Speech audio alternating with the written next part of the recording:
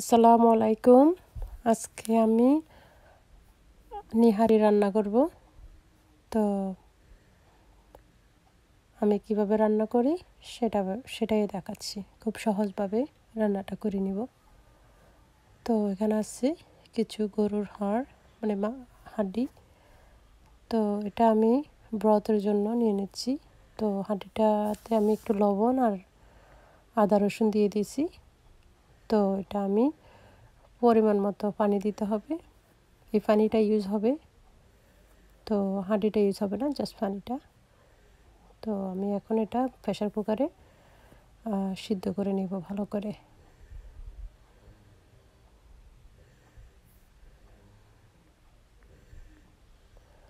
তো এখানে আমি পাতিল বসিয়ে দিলাম, তেল দিয়ে দিলাম পরিমাণ মতো।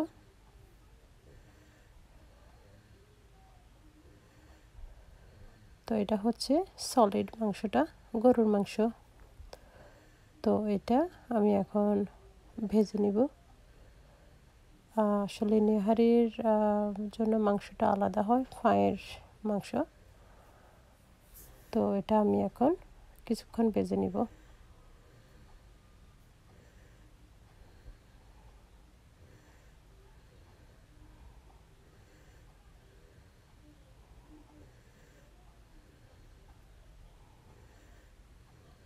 হয়ে গেছে, এই পর্যন্তই। তা আমি এখন উঠাই নিচ্ছি।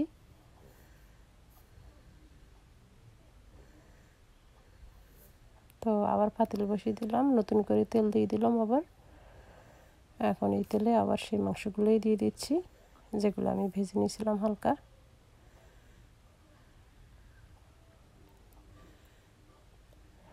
এখন আমি শানের ব্র্যান্ডের নিহারি মশলাটা দিয়ে দিচ্ছি, দিয়ে দিলাম পুরা প্যাকেট। আমার এখানে মাংস আছে তিন পাউন্ড। তো আমি এখানে আরও হ্যাপ মশলা অ্যাড করি।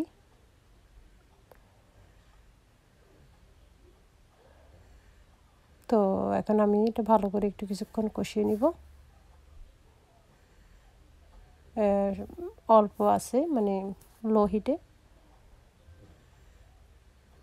তো আমার এই হাড্ডিগুলিতে আমি আমার মাংসটা ঢেলে দিচ্ছি।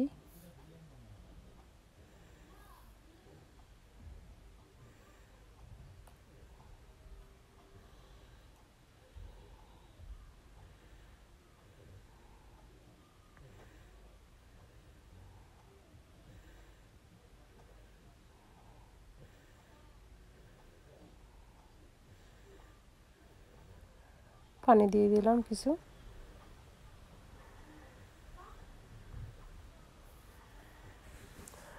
তো এখানে একটা বিষয় আছে, সেটা হচ্ছে হাড্ডিগুলি আমি পরে আলাদা করে উঠাই ফেলি।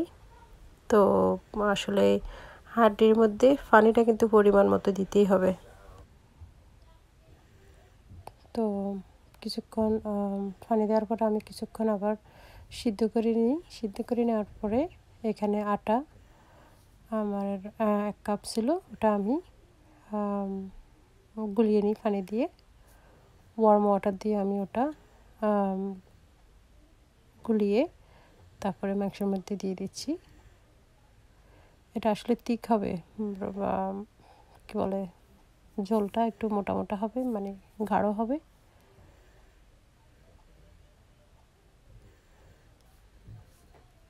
তো আমার এই আটা গোলাটা দেওয়ার পরে আমি আরও তিরিশ মিনিট রান্না করব।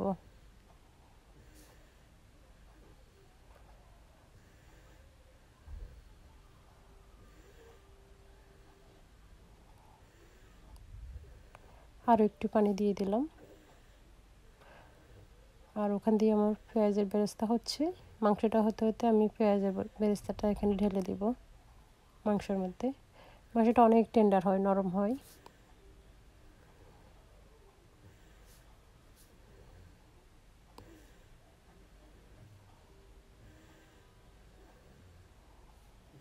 তো পেঁয়াজ যখন হয়ে যাবে আমি ঢেলে দিছি পেঁয়াজটা, পেঁয়াজের বেরেস্তাটা। তো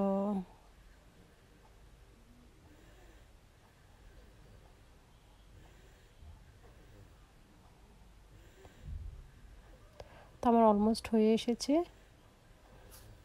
তো আমি আরও দশ মিনিট রেখে দেব, এভাবে ঢাকনা দিয়ে। হয়ে গেল আমার নিহারি। এই হচ্ছে আমার নিহারি। তো আমি নান দিয়ে পরিবেশন করেছি। নান, রুটি সাথে বেশি ভালো লাগে। তো ভালো লাগলে আপনারা আমার চ্যানেলটা সাবস্ক্রাইব করবেন, একটা লাইক দিয়ে দিবেন, অবশ্যই শেয়ার করবেন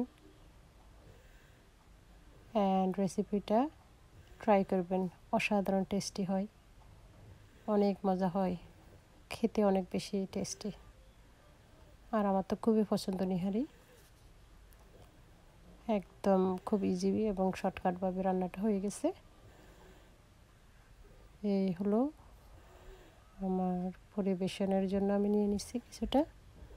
সাথে নিয়ে নিচ্ছি কাঁচামরিচ কুচি। আর আছে পেঁয়াজের কিছু বেরেস্তা। এখানে আছে আদা কুচি, এটা হলো নান, আর আছে তরমুজ। আসলে আমি রোজা আছি, তাই এটা আমার ইফতার। তো, আমার ভালো লাগল অবশ্যই। আমার পাশে থাকবেন আর আমার চ্যানেলটা সাবস্ক্রাইব করে দেবেন। Thank you very much